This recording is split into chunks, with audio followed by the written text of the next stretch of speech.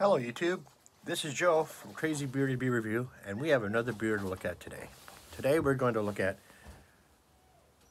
Bode Bodhizafa.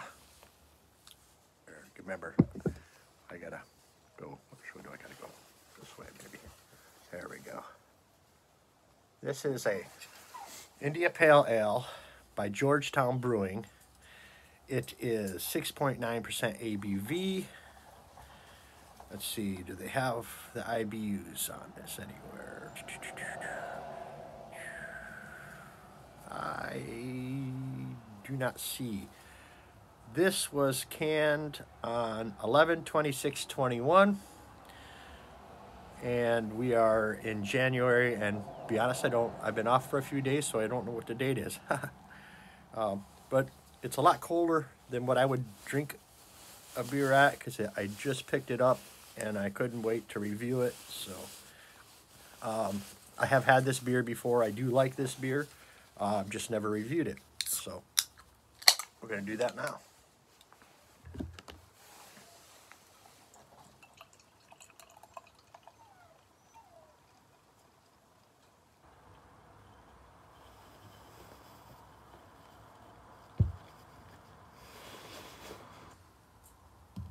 Uh, I'll leave the last little bits for. Okay, so what are we looking at here?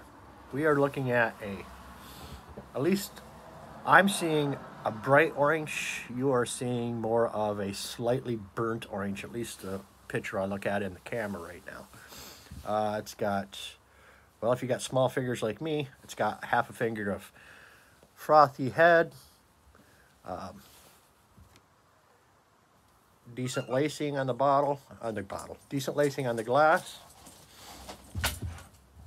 Uh, let's give this a sniff and see what we get out of it. Oh yeah. I'm getting citrus.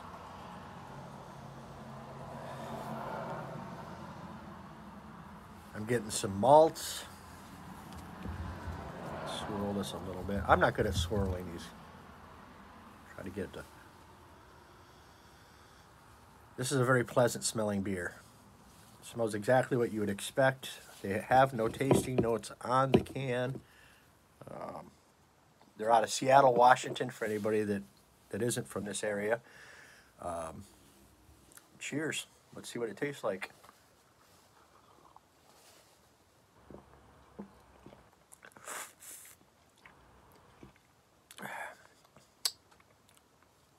It follows the nose pretty, pretty, pretty dead on.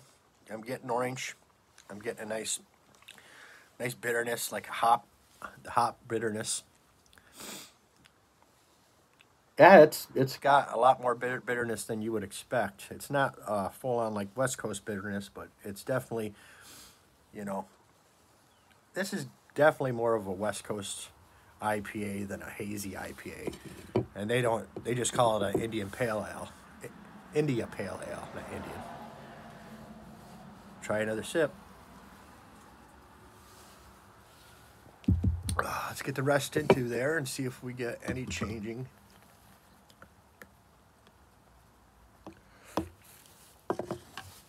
Not really. It still pretty much looks the same. Uh, carbonation is good. Flavors are basically orange and uh, and you know the hop bitterness. Like I said I do not know the IBUs but if I were to guess this would be hmm,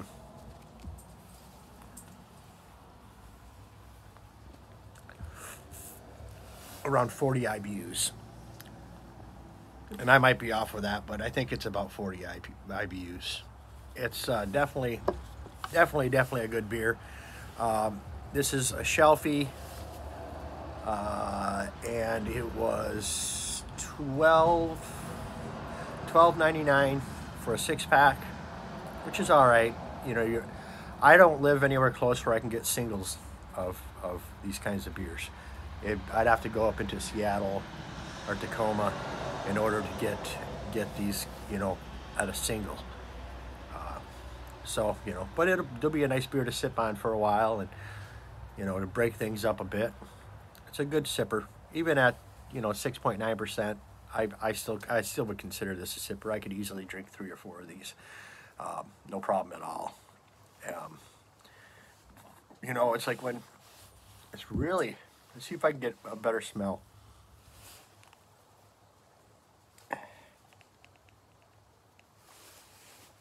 For me, it's citrus all the way.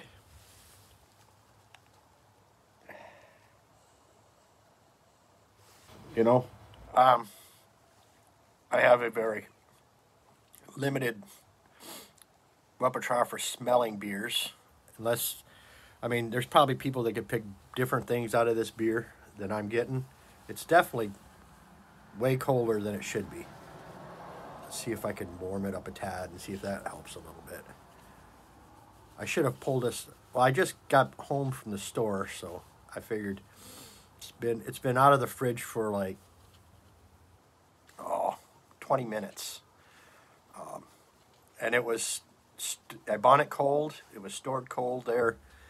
Um, yeah, no no problems with it. It's like I said, it's uh, was canned on 11.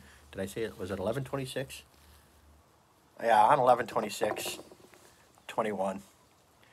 You know, it's about um, about a month and a half old, and it's holding up really well. I mean, I'm I've had this beer dead fresh, and I've had this beer two months old, and it pretty much tastes about the same. I mean, it's a little more when it's dead fresh. It's a little more popping with the orange and you know stuff like that. It's probably a tad bit subdued because of the age, but it's not anything bad at all.